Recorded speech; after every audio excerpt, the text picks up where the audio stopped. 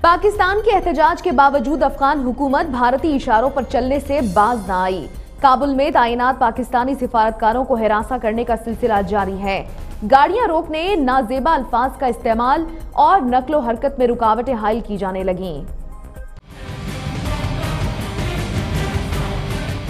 مودی سرکار کی کٹ پتلی افغان حکومت بھارت کا کھیل کھیلنے میں مصروف ہے اور افغان انٹیلیجنس ایجنسیوں کے ذریعے کابل میں تعینات۔ پاکستانی سفارتکاروں کو آئے روز دھمکانے اور انہیں ہراساں کرنے کے واقعات معمول بن چکے۔ جبکہ افغان ایجنسی کے اہلکاروں کی کھلم کھلا گنڈا گردی پر پولیس بھی کارروائی سے گریزاں ہے